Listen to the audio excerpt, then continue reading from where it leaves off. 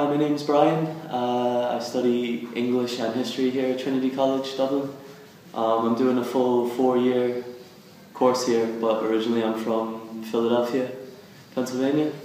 And I decided to come to Trinity because I have Irish connections. My mom and dad are both from Ireland, and I was here as a child a few times.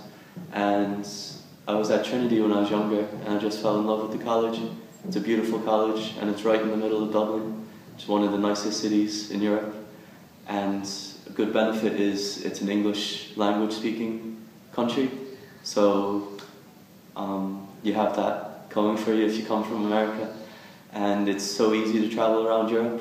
I play sports here. It's a great sports centre here in Trinity, and um, you play matches against teams from the UK and all over Ireland. And I've even been to Poland and France playing against other teams. So it's a great opportunity and it's really inexpensive to travel around Europe, which is probably the thing I like most about Trinity College. And it's just a great college in general. It has a world-class name. People in every country have heard about Trinity College. It's one of, it's Ireland's oldest college and it's very prestigious and um, it's a great college. If you want to come here, I'd highly recommend it.